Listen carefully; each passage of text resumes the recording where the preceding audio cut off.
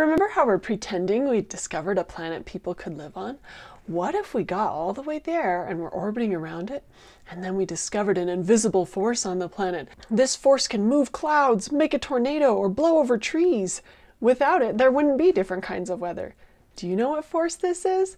I'm talking about wind. Other planets have wind just like the Earth does. When we go outside, we can detect the wind even though we can't see it. We can see the wind blowing things around. Sometimes we can hear the wind rushing through trees or grasses. We might even be able to smell the wind, like if there's a rainstorm far away. You might have noticed that whenever the weather changes, we have a lot of wind. Do you remember last week when it snowed so much? The day before it snowed, it wasn't very cold, but in the afternoon it started to get windy as the colder weather started to arrive. So where does wind come from? Well, you've probably noticed that if you have a hot drink on a cold day, eventually your drink will get cold. That's because heat flows until temperatures are equal. That's why our ice cubes, no matter how much insulation we gave them, eventually they all melted because the heat from the room came and melted the ice. This happens all over the Earth because of the way the Earth is tilted. In the winter, in the northern hemisphere where we live, it gets colder, but at the same time, in the southern hemisphere, it gets hotter. This means that different parts of the Earth are cold and different parts are hot at the same time. When air flows to try to equalize the pressure and temperature around the Earth, we get wind. In Albuquerque, spring is often the windiest time of the year. This is often because the sun is heating up the earth more, and as that warm air rises, cold air rushes in to replace it. That leads to the afternoon spring winds we see so often in March and April and May.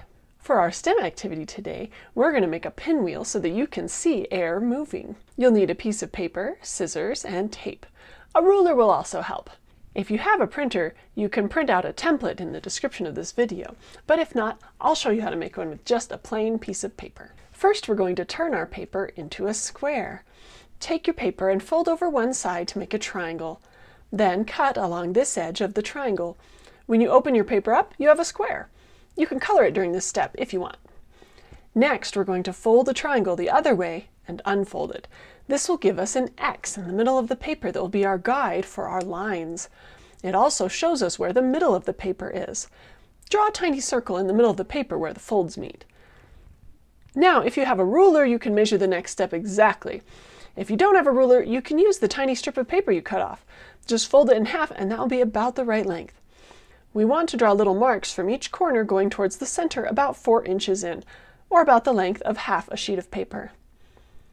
Next, take your scissors and cut from the corner to the mark you just made. Don't cut all the way to the middle, just barely up to the mark. Do this on all four corners. Good, now we're going to fold half of these in, so let's mark which ones we're going to fold. At the top edge, put an X on the left flap. Then rotate your paper so we have a new top edge and put an X on the top left flap again. Do this two more times until you have four X's on your paper. Okay, now we have the last part. Bring each flap with an X to that circle you made in the center of your paper. Don't fold it. Let the paper curve over. This will make a nice pocket for air. Use a tiny piece of tape to hold it down. We're going to go around and do this with all the flaps with X's on them. Using small pieces of tape will help make it so we don't tape down too much. Now you have a pinwheel that can catch the air. Do some experiments to see how you can make it spin. You can try dropping it, maybe on its side or upside down, see which way makes it spin the most. You can also try setting it on the floor and blowing on it if you're somewhere where you don't have to wear a mask. Try a whole bunch of things, and then I want you to take a picture of your pinwheel and tell about the best way to make it spin. When you're done throwing it around, if you have a pushpin and a straw or a stick, you can push the pushpin through the middle of your pinwheel and into the stick. Then you can stick it in the ground outside and see if the wind will make it spin. You might need to rotate it to the right direction depending on which way the wind is blowing. I hope you stay safe, have fun, and keep making things.